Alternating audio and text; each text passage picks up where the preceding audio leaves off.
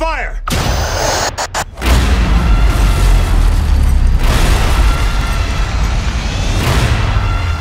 Did we just start a war? No, but we might have sailed into one. Thellë nën sipërfaqen e akullt të rrethit arktik, nëndetëset ruse dhe amerikane janë në prag të luftës.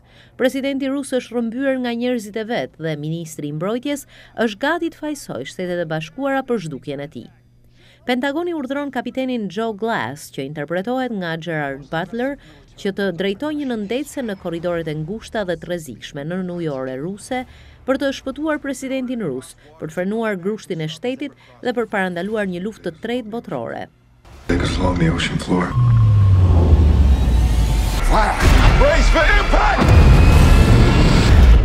Aktori Butler i thotë Zërit Amerikës se ky thriller i ndërlikuar Jo vetëm që ofron një komplot që të mban pezull, por edhe përshkruan saktësisht se si nëndetëset bërthamore, veçanërisht ato Hunter Killer, do të luftonin në një betejë të shekullit të njëzet e njëtë.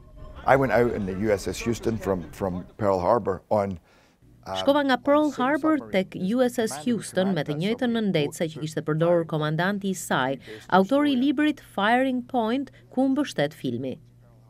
Aktori thotë se Marina Amerikane dhe Departamenti i Mbrojtjes luajtën një rol kyç për të siguruar saktësinë teknike të filmit, përfshirë zhargonin ushtarak dhe përshkrimin e manovrave luftarake të nëndetëses Hunter Killer.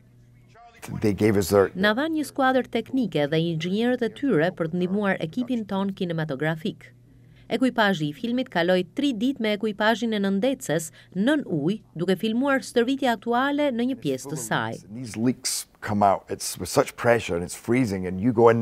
Dhe uji hyn gjithandej me një presion të lartë. Është akull i ftohtë dhe aty mësohesh t'i zgjidhësh problemet nën presion.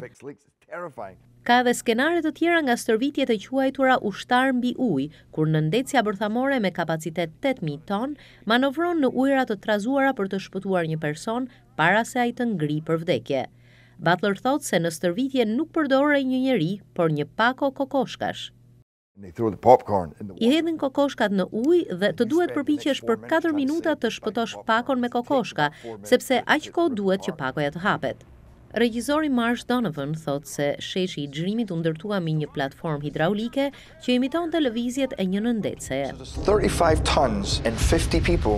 Kemi një ngarkesë prej tridhjetë e pesë tonësh dhe pesëdhjetë vetë në skenë. Ajo lëviz ne luhatemi, është shumë interesante. Përveç detajeve teknike, aktori kryesor Butler thotë se Hunter Killer e bën për vete audiencën me një operacion të një ekipi SEAL për shpëtimin e presidentit rus në territor rus, një manovër të vështirë nëndetëse në Arktik dhe vendimet jetike që duhet të merren në dhomën e luftës së Pentagonit.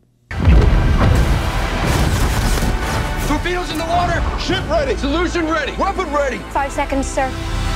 Fire!